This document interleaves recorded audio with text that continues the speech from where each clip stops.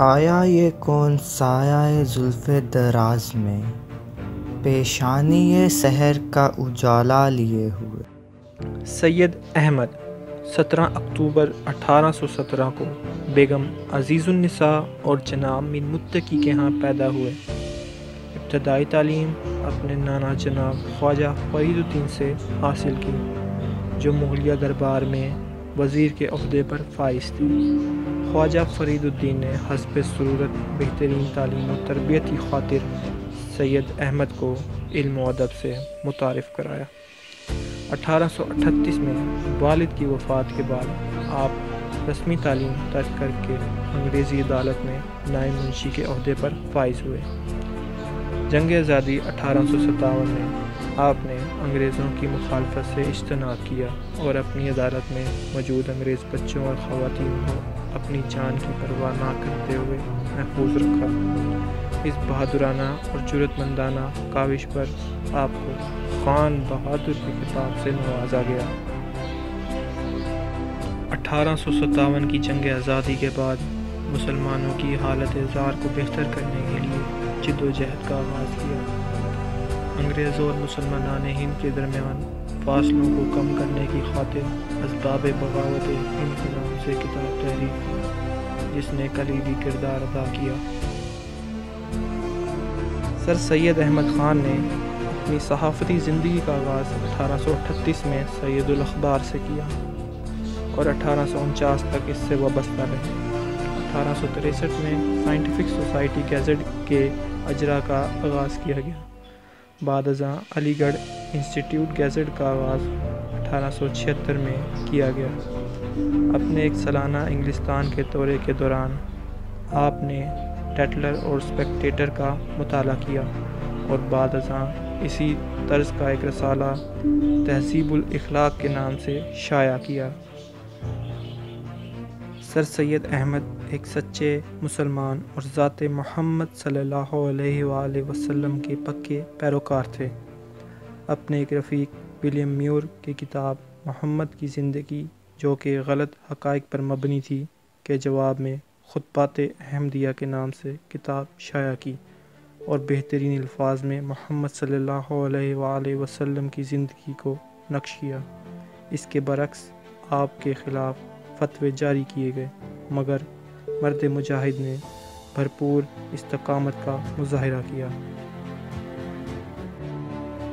जहालत गुरबत की माँ है। सर सैद अहमद ख़ान हकीकी मानों में मुदबिर मुफक्र थे। आपकी मुसलमानों की हालत ज़ार पर गहरी नज़र थी और इसकी बेहतरी की खातिर आपने असलाहत का एक मजमू पेश किया। मुसलमान हिंद ने इनकी तदाबीर पर पैक कहते हुए मुकम्मल तौर पर अमल किया। सर सैद अहमद ख़ान ने अठारह सौ उनसठ में ज़िला मुरादाबाद में गुलशन स्कूल कायम किया।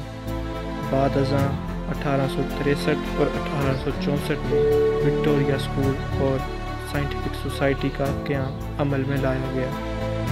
अठारह सौ पैंसठ में मोहम्मदन एंग्लो ओरिएंटल स्कूल की बुनियाद रखी गई, जिसने बाद सौ बीस में अलीगढ़ मुस्लिम यूनिवर्सिटी का रुतबा अख्तियार किया। सूरत से आया जलाल शाही, चेहरे पे फरोग सुबह गाही। वो रेशे दराज की सुपेदी, छुटकी हुई चांदनी शहर की। वो मुल्क पे जान देने वाला, वो कौम की नाव खेने वाला। लब पर है फ़गा, अब भी जागो ए ख्वाब गिरा के सोने वालों। ता चंद रहोगे मस्तो सरशार, उठो के सैर हुई नमूदार। सर सैद की सियासी असलाहत ने बर सग़ीर के मुसलमानों की तकदीर का रुख तब्दील कर दिया। दो कौमी नज़रिया, ऑल इंडिया मुस्लिम लीग और बिलाखिर पाकिस्तान की बुनियाद बना। ऐसे ही है two notion two nation theory जो है, वो पाकिस्तान की बेस्ड है। और आइडियालॉजी जो है पाकिस्तान की, वो जैसे हम बता रहे हैं कि वो यही है कि वो अगर वो जितनी स्ट्रेंथन होती है, उतना ही पाकिस्तान स्ट्रेंथन होता है। तो सर सैद अहमद ख़ान ने, वैसे तो कहा जाता है कि शाह वली इससे पहले बात कर चुके थे मुझे तो जो है वो ये बात करते हैं, लेकिन जो ऑन द रिकॉर्ड जो इन्होंने काम किया इस पर जो कंट्रीब्यूशन है, वो सर सैद अहमद ख़ान ने सबसे पहले ये चीज़ जो है वो बता दी थी कि हिंदू और मुसलमान जो हैं वो इकट्ठे नहीं रह सकते। यही वजह है कि उन्होंने नाइन, एटीन में जब कांग्रेस बनी है तो उन्होंने मुसलमानों को मना किया था कि इसको ज्वाइन मत करें। तो वो स्टेट्समैनशिप है। यही देखें स्टेट्समैन वो लोग होते हैं जो अपनी कौम के लिए कई सेंचुरीज आगे का सोचते हैं। तो सर सैद अहमद ख़ान ऐसी शख्सियत हैं कि अगर वो ना होते, वो ना सोचते हमारा। उन्होंने उस वक्त कहा कि मुसलमानों को अब अपनी वो जो हज़ार साल हुकूमत है, उसको भूल जाना चाहिए और एक अब ये समझना चाहिए कि वो अब इस वक्त ग़ुलाम हैं, ना कि रूलर हैं। और उन्हें अपना रवैया भी चेंज करना होगा।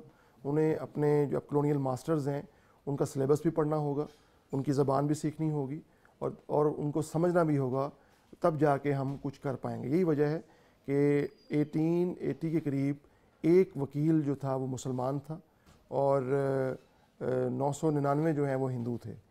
और, जस्ट, जो इन्होंने मूवमेंट स्टार्ट की, आपकी अलीगढ़ मूवमेंट जो है, उसकी वजह से पहला जो मुसलमान जज है हिंदुस्तान का वो असूली तौर पे तो इस दादा के मुताबिक हिंदू होना चाहिए था। सर शादी लाल बने। लेकिन उनसे पहले एक मुस्लिम जज लाहौर हाई कोर्ट के चीफ जस्टिस भी बने, जस्टिस शाहदीन तो ये जस्ट ये इनकी, इन्हीं की एफर्ट थी सर सैद अहमद ख़ान की, कि उन्होंने मुसलमानों का, कि वो तालीम हासिल करें और सियासत से दूर रहें। यही वजह है कि मुसलमानों ने उनके कहे पे अमल किया और सियासत से दूर रहे, सियासत में बहुत लेट आए मुसलमान। तो हिंदू पहले इन्वॉल्व हो चुका था कांग्रेस की सूरत में। तो उन्होंने कहा था एजुकेशन हासिल करें। तो ये उनका विजन था, ये उनकी स्टेट्समैनशिप थी कि पाकिस्तान बना, वही अलीगढ़ मूवमेंट है, उसी के वो लीडर्स हैं। आगे उन्हीं से, उन्हीं ने मुस्लिम लीग बनाई और उसी मुस्लिम लीग ने 1947 में पाकिस्तान हासिल किया।